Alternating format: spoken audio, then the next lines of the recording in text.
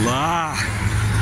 Marvadão Tour em ação, com uma, um celular na mão e umas ideias na cabeça. Aqui estou eu, um novo, uma nova gravação é, sobre pontos característicos de Sorocaba. Esta aqui é a Avenida São Paulo, prolongamento da Avenida São Paulo, que passa em frente à Granja Olga e, este, o que me chama a atenção é esta reserva de mata atlântica que existe por aqui. São 88 mil metros quadrados, foram doados pelos herdeiros da família Kenworth à prefeitura em 1992, quando se instalava o Granja Olga, para ser uma área pública de lazer, uma área pública ambiental, porque é uma reserva de mata atlântica muito característica.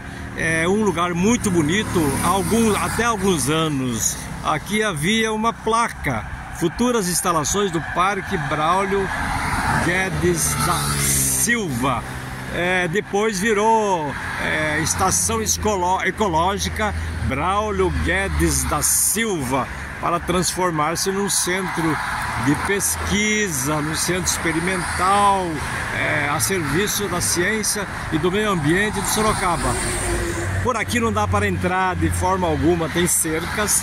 É, talvez por outro lado eu consiga ali por, pelo Jardim do Sol, que fica aos fundos. Então, então essa área de 88 mil metros quadrados está encravada, que entre o Jardim do Sol e uma estrada que vai até a Raposa aqui por trás e aí a Granja Olga, tendo encravado ali em cima, o, na verdade o Jardim, o Jardim Verte, que é a Vila Verte, o, o residencial Verte, e mais ao lado, colado, o, o Jardim, o Jardim Bandeirantes, que é um bairro essencialmente verde, um bairro essencialmente verde. E aqui nós temos o Bugãoville, que é uma, um empreendimento um pouco mais moderno, integrado a esse conjunto.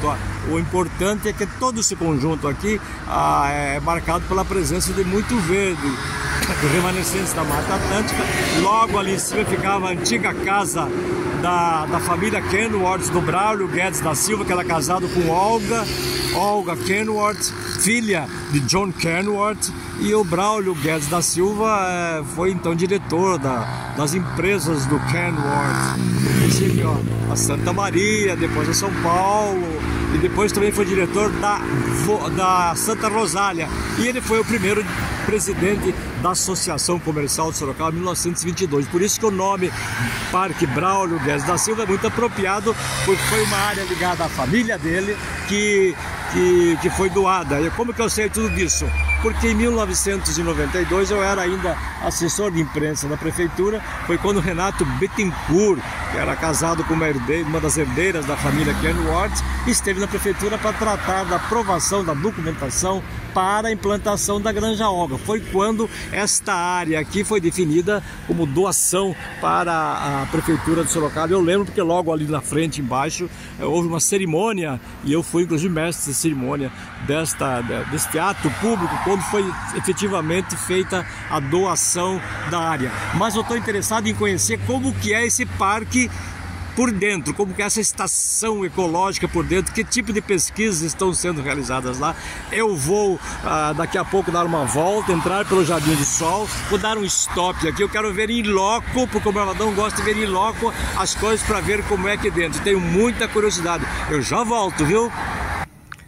Pronto, voltei, voltei. Estou agora no outro lado do Parque Braulio Guedes da Silva. Eu havia mostrado a face voltada para a Avenida São Paulo, perto do Granja Olga. Agora estou aqui, estou aqui, na, aqui no, no, no, Jardim do Sol, é, é, vendo o que temos aqui, porque foi, foi anunciado, transformado o Parque Braulio Guedes da Silva, foi transformado em estação ambiental, estação ecológica Braulio Guedes da Silva, um espaço destinado a pesquisas, pesquisas ambientais, estudos com escolas.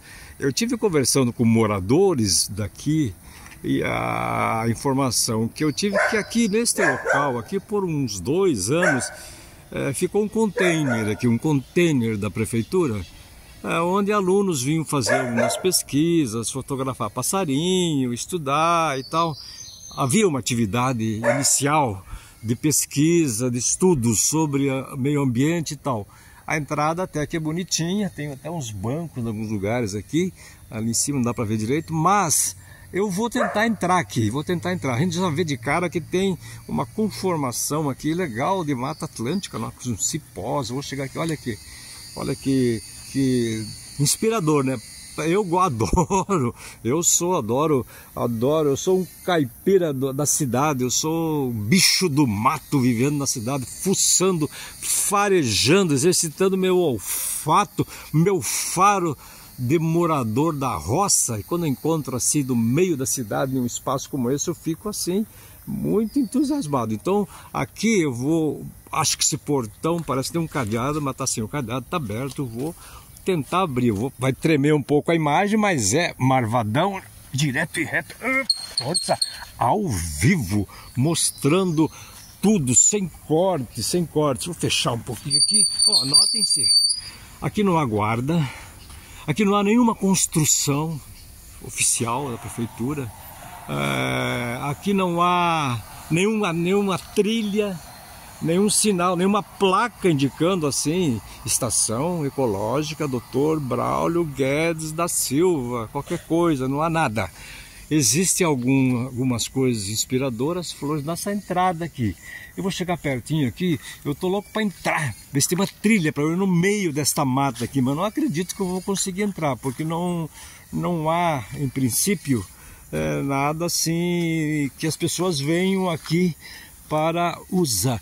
Olha aqui, olha só que, que coisa interessante. Ah, tá uma reverberação do verde.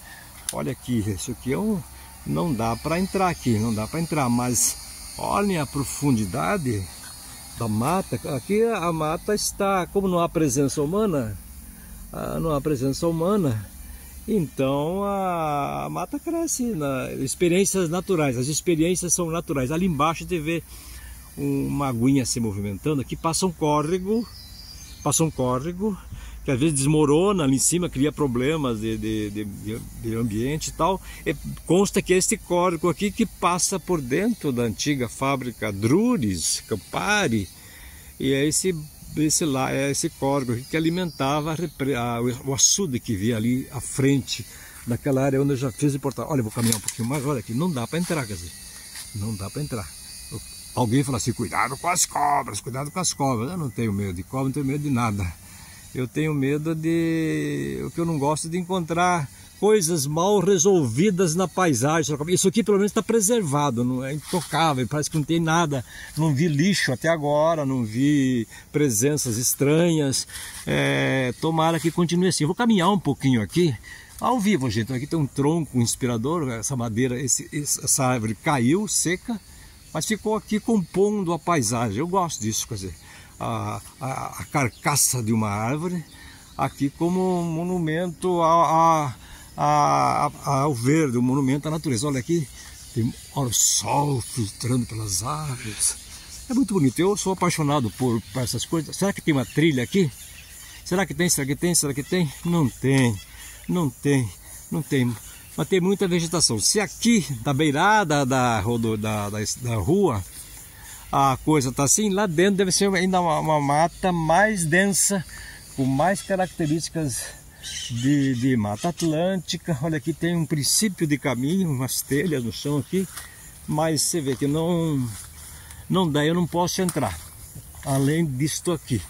Mas eu estou compartilhando com você essa experiência de uma área que existe aqui perto da Granja Olga, aqui na, perto do Jardim Gonçalves, ah, muito próxima da cidade, aqui numa área muito povoada e muito moderna, uma densidade desse tamanho de uma reserva, quer dizer, um remanescente de Mata Atlântica. Sorocaba tem muitos espaços pequenos assim de Mata Atlântica, esse é bem maior, né? um espaço de 88 mil metros quadrados que foi doado em 1992, acredito, pela família é, dos herdeiros de Kenworth, John Kenworth, para que servisse como uma área pública, um parque tem tudo para ser um parque maravilhoso, mas para isso precisa estrutura. Por enquanto, parece que isso aqui é apenas uma unidade de preservação. O que, que significa isso? Fica lá, do jeito que está, deixa a natureza fazer o papel dela, a gente não faz nada, não usa, não faz nada, fica lá.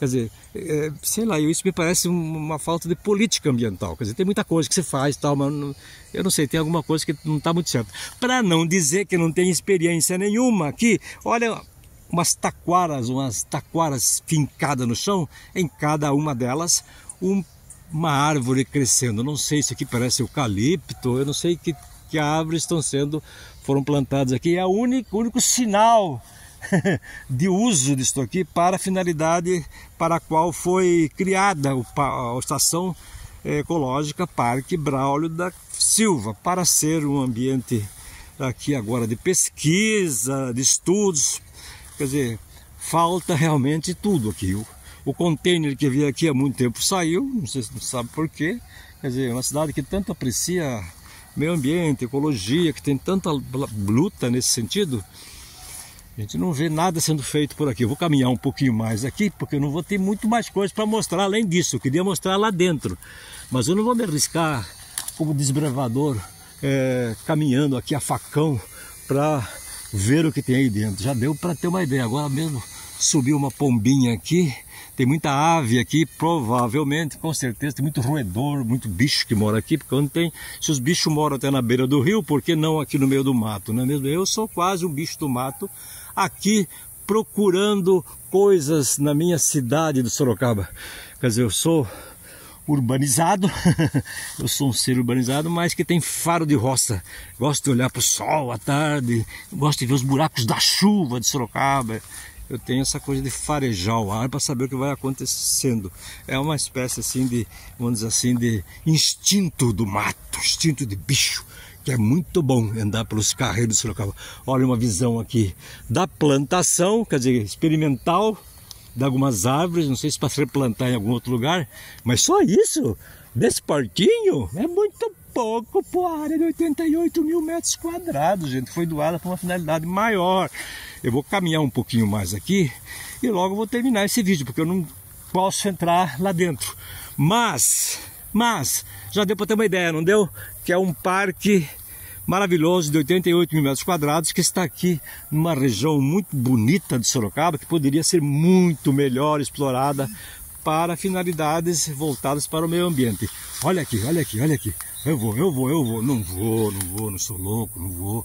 Mas olha, isto aqui realmente lá, ah, salvou meu dia, salvou minha semana, porque eu gosto de encontrar. Pelo menos não está vendo depredação, pelo menos não está vendo é, presenças estranhas, não está vendo, vendo lixo por aqui. Parece que o único problema que tem é o desbarrancamento do, do córrego que passa por aqui, acho que logo aqui, e que cria alguma preocupação para os morador, moradores aqui da vizinhança. Olha aqui, ó. olha que coisa linda. Olha aqui, aqui parece que passa o córrego, mas eu, eu não sei é, é por aqui. Ali já tem outro, outro, outro condomínio. E aqui é o Marvadão caminhando no meio do mato. Bicho do mato. Bicho do mato. Eu vou cair aqui. Opa, opa. Vou subir aqui. Vou subir. Vou terminar o vídeo aqui em cima. Parará, parará, pum, pum, parará. Eita, nós. Ali já está o prédio, condomínio. Aqui tem um buracão. Ó. Este buracão, acho que por aqui que passa o córrego é, que abastece a antiga Drures que formava aquele lago que havia em frente a Drures. Então, com esta visão de bicho do mato, eu vou encerrando mais este vídeo do Marvadão Tour, direto e reto, sem corte. Então, é, vejam, vejam os vídeos do Marvadão, compartilhem, se inscrevam no canal do Marvadão e repercutam, deem sugestões de pautas. O Marvadão perdoa, nem que doa. Então, em